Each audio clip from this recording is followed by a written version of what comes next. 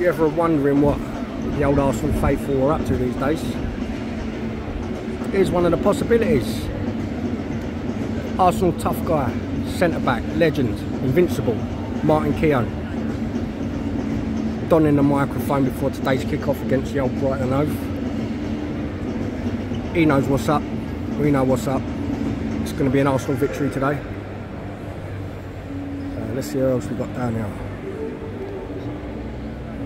Uh, I think I'm a little bit early.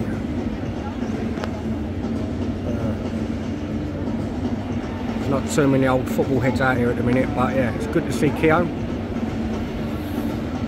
On the old TNT stand.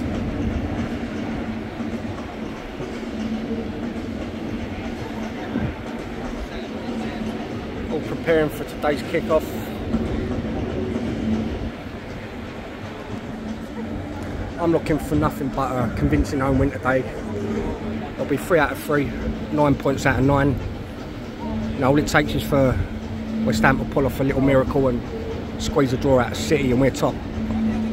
Which is where we want to stay for the rest of the season. Obviously, new boy Sterling, he's not in the squad today. It was a little bit too late to complete all the formalities. Uh, just a little word on Sterling. He will bring the fire. That's without a doubt. You people forget he's only ever played for the big clubs. City, Chelsea, Liverpool. And now he's playing for the next biggest club, Arsenal. He's still in his prime. He's still got plenty to offer. And just imagine Sterling getting in behind the defences in the Arsenal team. Wow. Our, our attack just got even better. I'm looking forward to seeing Sterling. We could even start him, Saka, Martinelli and Havertz all at the same time. That's a definite possibility. That's something which I definitely want to look forward to. But anyway, I'll see you boys at, uh, when the players come out, start to train. It's going to be a good game today, boys.